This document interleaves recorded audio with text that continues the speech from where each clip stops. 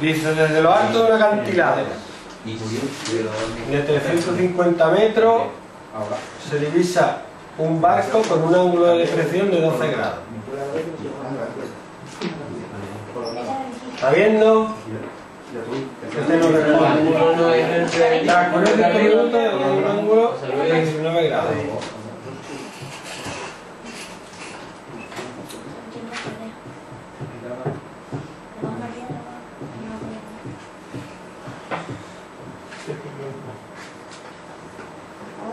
O tienes que calcular lo que hay de aquí a aquí, que lo puedes calcular y lo que hay de aquí a aquí. ¿Vale? Y la diferencia es la distancia que ha recorrido. Divide la distancia esta entre 5 minutos, que son 300 segundos, y te da la velocidad del barco. ¿Vale? ¿Cómo te ha? Frío.